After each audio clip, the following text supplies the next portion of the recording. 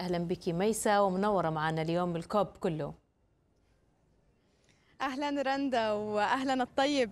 يعني بالفعل هناك اهتمام كبير في كوب 28 حول إعادة التدوير وأهمية المحافظة على البيئة طبعا فيما يخص البلاستيك.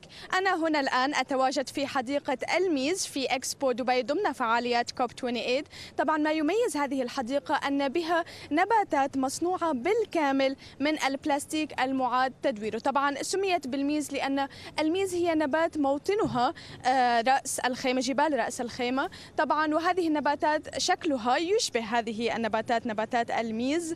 هنا في هذه الحديقة يتواجد نباتات مصنوعة من أكثر من 500 عبوة زجاجية بلاستيكية معاد تدويرها. طبعا هذه الفكرة ليست جديدة بل قام بابتكارها الفنان الفرنسي جيروم توكيغ عام 2013 طبعا هي تجمع بين الفن والاستدامة البيئية لذلك هي مهمة. يعني حتى بالنسبة للسماد السماد معاد تدويره من النفايات من مخلفات هذه النفايات طبعا ليس هذا فحسب بل هناك جناح في إكسبو يسمى جناح المشرق طبعا هذا الجناح مصنوع من نفايات الشجار ومخلفات أشجار النخيل طبعا جميعنا نعرف أن أشجار النخيل هي مهمة بالنسبة لتراث نعم. هذه البلاد طبعا أشجار النخيل تخلف العديد من النفايات لذلك كانت هناك هذه الفكرة ببناء نعم. مبنى كامل في إكسبو مصنوع من نفايات هذه النخيل. نعم. طبعا لماذا البلاستيك مضر إلى هذا الحد؟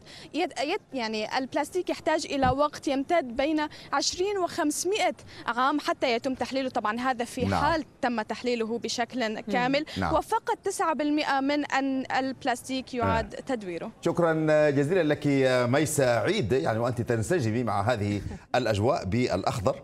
وعيونها كمان يا طيب. شكرا. شكرا جزيلا لك.